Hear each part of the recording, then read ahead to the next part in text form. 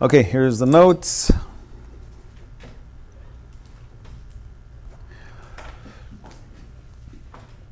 We're still doing properties of exponents, and we're seeing them in kind of like a variety of different situations and problems, properties of exponents. And I know we're kind of, we've been working with negative exponents. We've been working with negative exponents, but you're really not going to see them in this problem. You're not going to see them when you see the problem, but you're going to see that you're going to still use what? We're still using, using what? Negative exponents. Okay. You won't see the negative exponents when I give you the problem, but you're going to see that eventually you're going to use a negative exponent. Okay. So what I'm talking about is this. What I'm talking about is this. Okay, let's say for example, this is review, right? This you already know. An example would be, well, if you have a to the negative 3b over a to the 4. Yeah? This is easy. You see a negative exponent, you know that's the one that has to move. I mean, it's pretty obvious which one has to move when you see the negative exponent. Okay. So I know that one's going to have to go down. Okay. So we're left with uh, B, right? We're left with B in the numerator. And now you got what? A4, and then now with what? A to the, that's going to turn to a positive 3? Yeah, I'm telling you, you know this already. This is not new. You already know this part. Okay, so then the answer is what? Um, B over, and then yeah, the, this is product, product property, right? They add. You keep the A, you add the 4 plus 3, A7. See, you know this already. You know this one already, you already know it. When it's a negative, you'll know, you know which one to move. Okay. And I don't know if we've gotten into these, but I'm probably, I'm pretty sure you can probably handle it. What if you have something like m negative 8, m negative 3. What if they both have a negative? Have we seen something like this? We did problems like this? Oh, good. Well, do you move both of them? You could. It's not wrong, but then you'll just have to do like an extra step. So you kind of have to think which one would be. I mean, you can only you'll do this in one move, right? We can do this in one move and not have to move both of them. What do I mean by that? You move the negative 8 down? Okay. Samantha says move the negative 8 down. Tell me why not move the negative 3 up? Yeah, you can kind of see ahead that it, when I put this up and I add them, it'll give me a negative answer. And that's fine. You can do that and then just just move it back down, right? Just to have the positive answer. But we know that we can kind of foresee what's going to happen and to know which one to move. So we'll move this one down. That would be the the single move, as opposed to moving this down, moving this up, and then moving another one again, and right. So when I move this down, well, we have what? Just a one left on the numerator, Yeah. and then you'll have m positive eight, right? Because when you move it down, it changed sign times the, and then the negative three is there. And this is product rule, right? But I know that when these add, I know that when these add what? You'll get a, a positive uh, exponent. That's what we want. We can never, we don't want to ever leave any answer with a, with a negative exponent. Okay, so you know this already. So you already know that. And like I said, today's assignment then is probably going to be easy. You probably already already know how to do it. Oh, what is this? Hold up. Okay, so these are the problems you're going to see now. Alrighty, here's the ones for today. And like I said, you probably already know how to do it. Okay, so simplify. So the only thing about the ones today, and I think you've already seen them, is you're not going to see any negative exponents, like I just said earlier. But uh, we'll start with something easy. How about x4 and x, uh, just x See here, they're, they're both positive, right? They're both positive, and I know when it doesn't have an exponent, it's a 1. But it's kind of like if one of them had a negative, I knew I would know which one to move. But what do you do when they're both positive? How do you know which one to move? The smaller one? Oh, that's a good. Oh, that's good. That's a good way to look at it, right?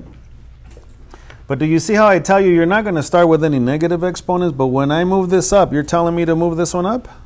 Is that what you're saying? Ah, okay. So then now, uh, what's left in the bottom? A 1, right? Nothing's there, but we just put a 1. And that'll be x4 times what? Uh-uh. See, that'll be x what? Negative 1, right? Because remember, it's positive here, but when you move it up, it has to change sign. Just like when you have a negative and you move it, it changes the sign. Same thing with this. It changes the sign. Right? And then now we know that when you add these up, you're going to get what? x to the power of 3? Yeah. So they're going to be positive. They're, they're all going to be positive, and then it's you got to determine uh, which one to move. Okay, so then let's uh, pick this up. A5B3 over over B7A uh, squared. Now here's another way they're going to try to mess with you and try to trick you. Anybody see what I did that looks like looks like a mistake? Yeah, they're not in like alphabetical order. You want to kind of keep everything organized and put it in alphabetical order. Yeah, go ahead, Dean. Yeah, let's let's organize this because see, then you get don't don't don't do this one with this one, right? Oh no, I don't want answers yet. So let's uh, make sure you organize this so you know that the A5 is under the what? The A squared and the the B3 is under the B7. I mean, you can do that. And then uh, which ones are going to move which way?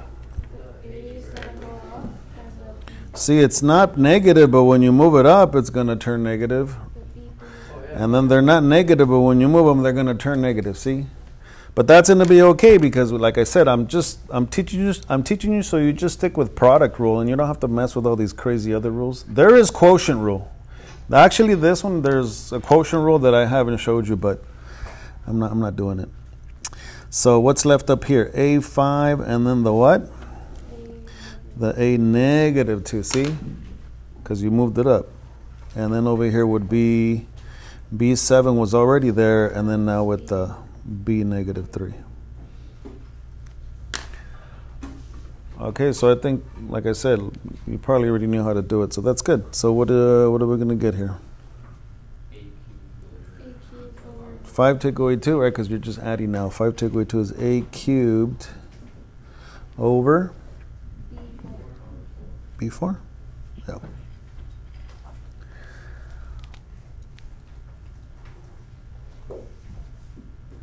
Okay, so here's a problem that I'm going to put here that's from the actual sample, the worksheet here. It looks like this. What number is this? One, two. This is number three. Okay. What about something like this? Um, it says 3y squared z3 over, oh yeah, 3y squared z3 over 6 x4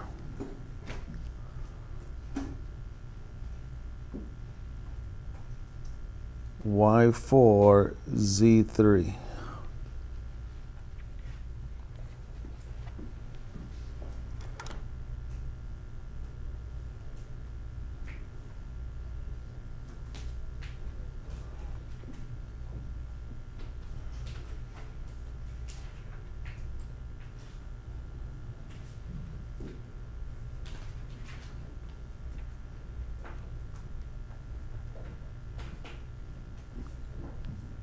Okay, well, again, uh, luckily these aren't too unorganized, but you can see the 3 is going to go with the 6. Those numbers are going to reduce the way you reduce numbers.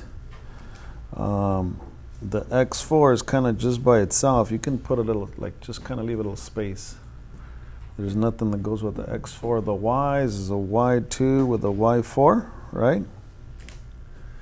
The z3 and the z3. What happens like what happens here with the z3 and the z3? What what you guys see why it cancels out? Why though? T- like explain. It'll be a zero. Anytime you see a thing with a zero, they're just put it there to mess to mess with you. It's not there. Like how many z's, z's are there? None, right? So yeah, these are gonna just subtract out and they cancel each other out. Three of these divide out with three of these. Okay, they're gone. Z's are gone. And what are we gonna do with the three and the six? Move the three down. Move the six up. Oh my God, these are just regular numbers. You just reduce the way you reduce 3 over 6. Remember this moving up and down business and all that? That's just for exponents, not for whole numbers. Here we just reduce, right? 3 goes into 3 and 3 goes into 6, right? 3 goes into 3 one time and 3 goes into 6 two times. Yeah, you just reduce. That, those are just regular whole numbers. All this moving up and down business, that's for the variables that have the exponents. All right, does everybody agree the x4 is fine? There's nothing. So the only thing we got to work is is that, right? And once we bring it down and you subtract, okay, can you you think you can tell me what the answer is? What's going to be left in the numerator? There's a 1 here. This already canceled. That's a 1 there. 1 times 1 is 1. And this one's going to go down, right? So what's left on top? Well, nothing, but you put a 1. Correct. Correct over 2. X4 is still there. And then you know you when you subtract that, it's uh, y squared. Is that is that okay? So I mean, it looks like an intimidating problem. See, when you look at this, you're like, oh my god, all this stuff. But when you start just separating things and, and just kind of looking at them individually, it's not that it's not that bad. Okay, another one that's from the worksheet here that again it looks uh, kind of tricky at first, but then when you when you start kind of focusing on things individually, it's easy. Okay, number four. I'm just gonna copy it down. And you know what? So you won't think I'm just making things up. Look, see, I have it right here. I have a worksheet that says notes that I printed out. I'm just gonna zoom into it. Okay, it's this one here. It says number six here, but for your notes, it's number four. I want you to do this, this one, number six. Where is it? This one. Can you guys see that? Let me focus it a little bit. It says 2Q M3P3. And then it says 2M P3Q2.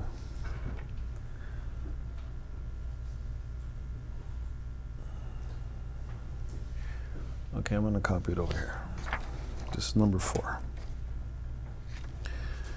2Q M3P3. Bless you. And what? 2M P3Q2. Oh.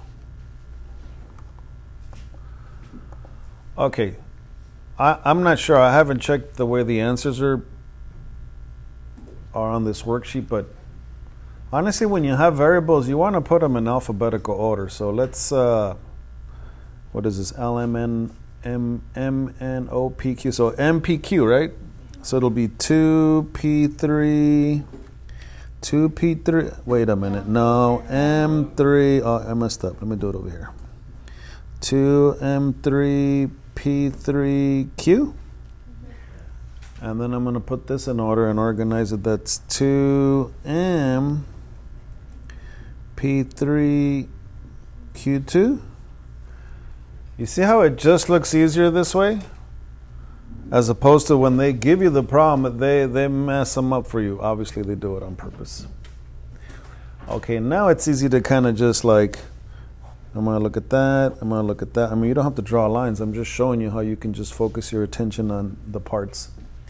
And, and which ones are going to be easy to just get out of the way right here? The 2 divided by 2, they just, it's 1 over 1, just they're gone, right? There's no more numbers? 2 and the 2 are gone. And what else? And the P3 and the P3 bye. See, they just they just put stuff like clutter just to oh. Sometimes they just put clutter just to mess with you. And so honestly, does everybody agree I'm left with M3Q over MQ squared? Yeah. So, oops. So what?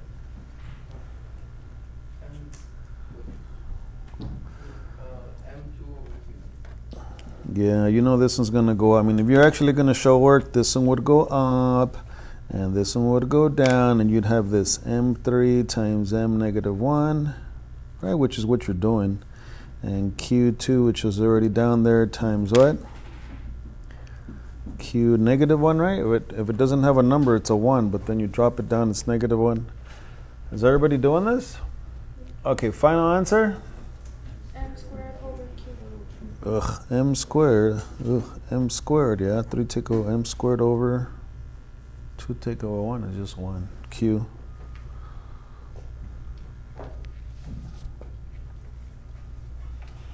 Okay, last one. Again, I'll put you. I'll put this. I'll put it here from the worksheet that I have.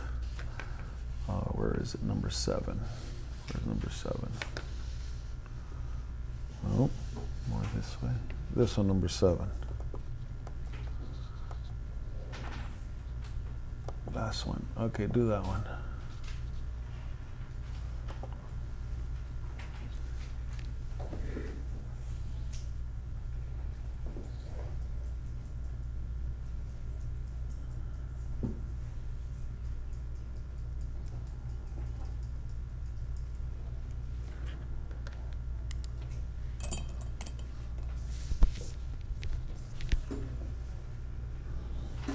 Okay, so I would rewrite it WXYZ, so it'll be 4X3.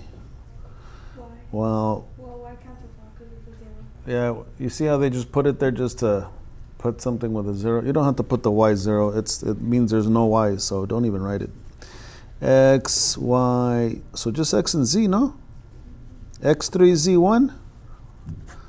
That's really the only thing that's up here, X3, Z1. And then what's down here? A 2, X4. X4, Z4. So, like I said, they'll put something with a zero to throw you off. They'll put them like not in order. But um, once you organize it, and you just, I think it just becomes a lot easier. Okay. Anybody get the final answer here? Dean, go ahead. What you get?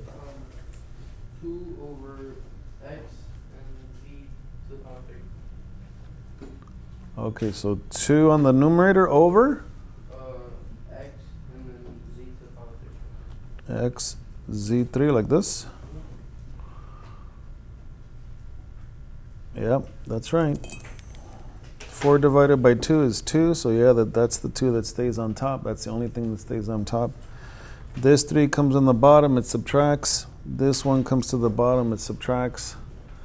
So, yeah, that's right. Okay, so like I said, I think I think you kind of already knew what to do with it, but it doesn't have initially negative exponents. But you know, when you move them up, you kind of are using negative exponents. But it looks like you guys got it. All right.